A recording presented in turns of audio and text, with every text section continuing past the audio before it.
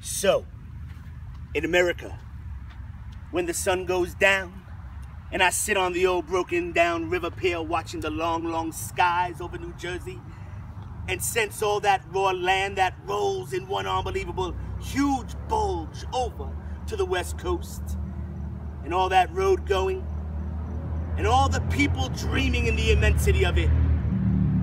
And in Iowa, I know by now the children must be crying in the land where they let the children cry. And tonight the stars will be out. And don't you know that God is Pooh Bear? The evening star must be drooping and shedding her sparklet dims on the prairie, which is just before the coming of complete night that blesses the earth, darkens all the rivers, cups the peaks, and folds the final shore in. And nobody, nobody knows what's gonna happen to anybody besides the forlorn rags of grown olds. I think of Dean Moriarty. I even think of old Dean Moriarty, the father we never found. I think of Dean Moriarty.